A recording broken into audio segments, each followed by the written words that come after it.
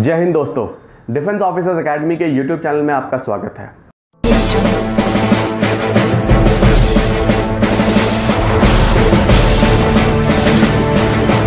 आज का जो सवाल है, वो ये है कि, सर, हम लोग 11th 12th में पढ़ रहे हैं।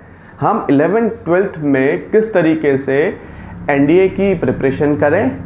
और अगर हम एकेडमी ज्वाइन करें तो हमारे स्कूलिंग का क्या होगा? तो डिफेंस ऑफिसर्स एकेडमी आपको इन दोनों समस्याओं का जो सोल्यूशन है, वो देता है। आप क्लास 11th से ही एनडीए की प्रिपरेशन स्टार्ट कर सकते हैं। उसके लिए आपको डिफेंस ऑफिसर्स एकेडमी का जो ऐप है प्ले स्टोर से डाउनलोड करना होगा और आप उसका वन ईयर का जो कोर्स है, वो परचेज करेंगे। इसके बाद अगर आप एकेडमी में आना चाहें फॉर योर ऑफलाइन ट्रेनिंग तो आप उसके लिए भी एलिजिबल रहेंगे अपने लास्ट एनडीए के अटैम्प्ट के लिए। दूसरी समस्या जो है, वो ये है कि सर हमारे स्कूलिंग का क्या होगा? अगर हम देहरादून आते हैं अकेडमी में पढ़ने के लिए तो हमारे स्कूल का क्या होगा?